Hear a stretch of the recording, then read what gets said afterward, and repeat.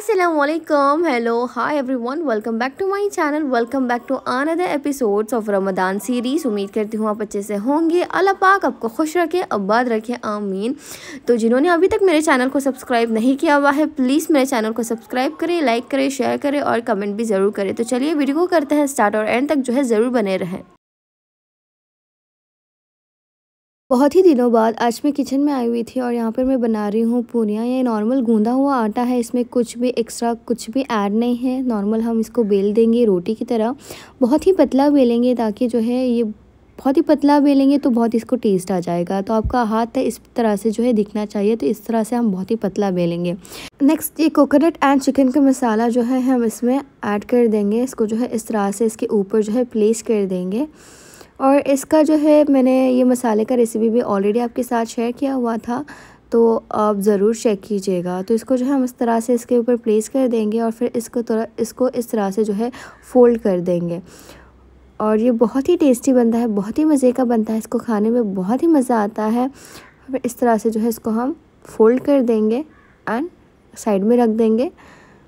फिर जब इफ्तारी का टाइम जो है, वो करीब आ जाएगा, हम इसको जो है रोस्ट कर तो आज हम केरला स्टाइल पतरी भी बना रहे हैं तो उसके साथ खाने के लिए हमने यहाँ पर चिकन खोरमा बनाया हुआ है, जो बहुत ही मज़े का बनाता, बहुत ही टेस्टी बनाता हम यहाँ पे देख सकते हैं। एंड नेक्स्ट यहाँ पर जो है ये स्ट्रीट स्टाइल चाइनीज़ बर्गर इसको जो है हमने फ्रोज़ करके रखा हुआ था तो हमने इसको भी जो है बाहर निकाल दिया है पहले से ही। तो यहाँ पर आज हम बनाएँगे कचौरी भी तो कचौरी के लिए हमने यहाँ जो है बचा हुआ राइस लिया है, और यह है पटबी का जो है राइस फ्लोर है, आप यहाँ पर देख सकते हैं। और सेम बाउल जो है हम यहाँ पर कोकोनट भी लेंगे। तो सबसे पहले जो है हम मिक्सर लेंगे। मिक्सर में एक बाउल जो है हम बचे हुए राइस को ऐड कर देंगे। नेक्स्ट नेक्स्ट हम बचे हुए जो है कोकोनट को भी ऐड कर सॉरी एक बाउल कोकोनट को भी ऐड कर देंगे। सेम मेज़रमेंट हम ऐड करेंगे तो इस तरह से। नेक्स्ट हम इसमें पानी ऐड कर देंगे। लाइक पानी आपको one to two cup around आपको आ जाएगा। फिर इसमें हम इसको हम मिक्सर में ग्राइंड कर देंगे। नेक्स्ट हम इसमें ऐड करेंगे वन टेबल स्पून जीरा जीरा और वन टेबल स्पून बड़ी शोप इस तरह से इसको हम ऐड कर देंगे और फिर जो है सॉल्ट हम ऐड करेंगे one tablespoon according to taste next ये जो बैटर जो है, वो रेडी हो चुका है। आप यहाँ पर देख सकते हैं, बहुत बहुत ही कचौरी जो है, बहुत ही मज़े की बनती है। आज हम आज हमने पतरी के साथ चिकन खोरमा बनाया था तो इसीलिए हमने कचौरी भी बनाया। कचौरी भी जो है, हम चिकन खोरमा के साथ ही एंजॉय करेंगे, जो बहुत ही मज़ा आता है इसको खाने में। उसके बाद जो है स्लोली स्लोली हम यहाँ पर राइस फ्लोर को ऐड कर देंगे। तो इस तरह से जो है इसकी कंसिस्टेंसी रहनी चाहिए, ना बहुत ही पतला, ना बहुत ही गाढ़ा। लाइक नॉर्मल इसका बैटर जो है इस तरह से होना चाहिए। थोड़ा सा जो है इसको हम रेस्ट टाइम दे देंगे तो इस तरह से ये हो जाएगा। आप यहाँ पर देख सकते हैं। और फिर इसके बाद जो है हम यहाँ पर रोटी मेकर के, रोटी मेकर के हेल्प से यहाँ पर मैं पतरी बना रही थी, मम्मा। और ये बहुत ही इजी है। ये बस राइस फ्लोर को जो है आप अच्छे से मिक्स करें। पानी डालकर और ये भी मैंने रेसिपी ऑलरेडी आपके साथ शेयर किया हुआ है। जो पतरी एक्चुअल मेकर होता है ना, ये वो जो है उससे बहुत ही जो है लेट हो जाता है बट इससे आप रोटी मेकर के हिसाब से करते रहे तो बहुत फटाफट से जो है आपका हो ही जाएगा। तो ये भी जो है बहुत ही टेस्टी बनता है और चिकन खुरमा के साथ आप खाओगे तो वाह, क्या ही बताऊँ, बहुत ही मज़ा आ जाता है इसको खाने में। तो ये भी जो है हमारा रेडी हो चुका है तो यहाँ पर जो है हम फाइनली कचौरी बना रहे हैं। तो कचौरी के लिए ना सबसे पहले हमने यहाँ पर बटर पेपर लिया है, थोड़ा सा ऑयल हमने लगा दिया है। तो इस तरह से इसको जो है प्रेस करेंगे और इस तरह से जो है इसका गोल शेप दे देंगे। तो इसको जो है हम हम डीप फ्राई करेंगे। तो यहाँ पर आप तो यहाँ पर आप जो है देख सकते हैं। जब तक इसका गोल्डन ब्राउन कलर नहीं आ जाता, तब तक हम इसको जो है फ्राई करेंगे अच्छे से।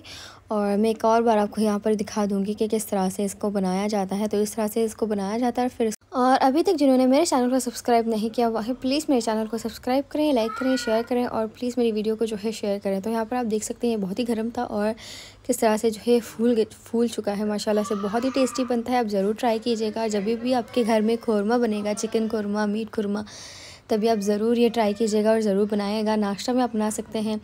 ब्रेकफास्ट आप बना सकते हैं, रात में आप बना सकते हैं और मज़े का बनता है। तो ये भी जो है हमने फ्राई किया, रोस्ट किया हुआ है तो ये भी जो है रेडी हो चुका है। नेक्स्ट इसको भी जो है हम रोस्ट करेंगे थोड़ा सा ऑयल डालकर।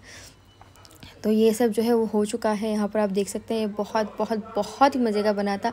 ट्रस्ट में अब ज़रूर इस कचौरी को ट्राई ज़रूर कीजिए। नेक्स्ट ये स्ट्रीट स्टाइल चाइनीज़ बर्गर जो है, ये भी जो है रोस्ट होकर रेडी हो चुका है। नेक्स्ट इसमें है हमारी केरला स्टाइल पतरी। इसको जो है हम टेबल पर सेट कर देंगे इस तरह से और यहाँ पर आप शोरमा देख सकते हैं रिहम के घर से आया हुआ था और हमारी पतरी भी जो है वो भी बहुत ही बढ़िया होकर बहुत ही रेडी हो चुकी है, सब कुछ जो है रेडी हो चुका है। खुरमा यहाँ मैं अलग से रख रही थी, माशाल्लाह से। और ये है चिकन की फिलिंग जो अब इसमें जाएगी ठीक है, हम इसके अंदर अब इसको फिल कर देंगे और इस तरह से। तो ये भी जो है बहुत ही मज़े का बनता है, सब कुछ जो हमारा रेडी हो चुका है, सब कुछ जो है हम यहाँ पर अब सेट कर देंगे। तो अब वाटरमेलन जूस है इफ्तारी के लिए और इसको भी जो है हम यहाँ पर सेट कर देंगे और बहुत बहुत ही मज़े का बना था तो हमारी इफ़ारी जो है वो हो चुकी है। जैसे कि मैंने आपसे कहा कि इफ़ारी हमारी हो चुकी थी और ईशा के अजान के बाद मैं जैन और इनके साथ जा रही हूँ फ़र्स्ट क्राई आइजल के लिए कपड़े बाय करने के लिए बिकॉज़ अभी तक मैंने बाय नहीं किया था। जैसे कि मैंने आपसे कहा था कि मुझे मैच चाहिए मेरे कपड़ों के साथ आइजल के कपड़े और जैन के कपड़े तो वही चक्कर में जो है मुझे आइजल के लिए बिल्कुल भी मैच नहीं मिल रहा है तो मैं ढूंढ ढूंढ कर जो है परेशान हो चुकी हूँ। मुझे थोड़ा सा जो है एटलीस्ट मैच होना चाहिए था तो इसीलिए यहाँ पर मैं फिर से आ गई और डिसअपॉइंट में हो चुकी हूँ बिकॉज़ यहाँ पर भी मुझे नहीं मिला। और फिर उसके बाद में हम यहाँ से भी निकल चुके थे और यहाँ पर आप देख सकते हैं, जैन जो है सब कुछ मांग और जो है ज़िद कर रहा था।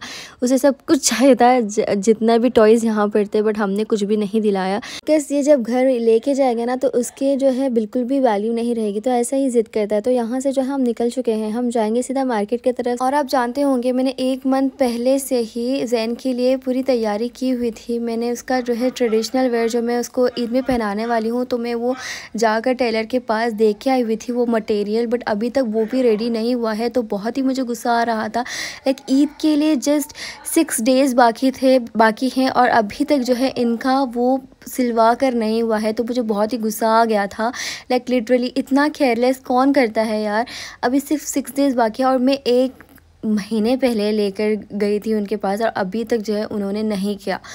तो वो भी देखकर जो है मुझे बहुत ही गुस्सा आ रहा था। फिर यहाँ पर जो हम ईद बाज़ार में आ चुके हैं और यहाँ पर bike and all bike car and all कुछ भी नहीं हम यहाँ पर लेके आ नहीं सकते बिकॉज़ बहुत ही रश होता है और तो बस चलते चलते ही मैंने यहाँ पर थोड़ी सी वीडियो शूटिंग मैंने यहाँ पर कर दी थी यह ईद बाज़ार। बट पूरे डिटेल में मैंने वीडियो रिकॉर्डिंग नहीं की थी बिकॉज़ मुझे मुनासिब नहीं लग रहा था and it was very difficult because बहुत ही गर्मी थी बाहर। और यहाँ पर काफ़ी सारे शॉप्स मैंने विज़िट किया था आइजल के लिए। आइजल के कपड़े ढूँढने के लिए और लास्ट में मैं यहाँ पर आ चुकी थी मामा फ़ैशन बट यहाँ पर भी जो है मुझे नहीं मिला और यहाँ पर photography and videography was not allowed इनकी कपड़ों की तो मैंने वो भी नहीं निकाला बिकॉज़ मुझे रिस्क नहीं लेना था। और इसके बाद जो है हम यहाँ से निकल चुके थे। ना आइजल के कपड़े मुझे मिले और न जैन के कपड़े जो है वो स्टिच होकर रेडी थे। तो जैन के जैन के कपड़ों का जो टेलर था ना, मुझे उसके ऊपर बहुत ही गुस्सा आ रहा था बिकॉज़ मैंने एक महीने पहले दिया था और अभी तक उन्हें, उसने स्टिच नहीं किया हुआ था। लाइक इतना केयरलेस कौन होता है? लाइक लिटरली मुझे बहुत ही गुस्सा आ रहा था उनके ऊपर। वहाँ से जो है, हम यहीं पर रुक गए थे फॉर सम टाइम तो यहाँ पर एक होटल था डाउनटाउन तो यहाँ से हमने एक बर्गर और एक juice dry fruit milkshake हमने यहाँ पर ऑर्डर किया हुआ था। तो बस यही हम एंजॉय कर रहे थे। और आइजल के लिए कपड़े ढूँढने की जो है कोशिश वो जारी ही रहेगी। बिकॉज़ जब तक मुझे कलर नहीं मिलता मेरे मैच तब तक जो है मैं हार नहीं मानूँगी। फिर इफ़ पॉसिबल नहीं हुआ तो वो छोड़ देंगे इन फिर यहाँ पर जो है मैं यहीं पे व्लॉग को करूँगी एंड आई होप आपको आज की वीडियो जो है बहुत ही अच्छी लगी होगी। मिलते हैं नेक्स्ट व्लॉग में। तब तक के लिए टेक केयर बाला हाफिज़ और अपनी दुआओं में मुझे ज़रूर याद रखिएगा। एंड जिन्होंने अभी तक मेरे चैनल को सब्सक्राइब नहीं किया हुआ है प्लीज़ मेरे चैनल को सब्सक्राइब करें लाइक करें शेयर करें और कमेंट जो है वो ज़रूर करें. And thank you for watching take care बाला हाफिज़.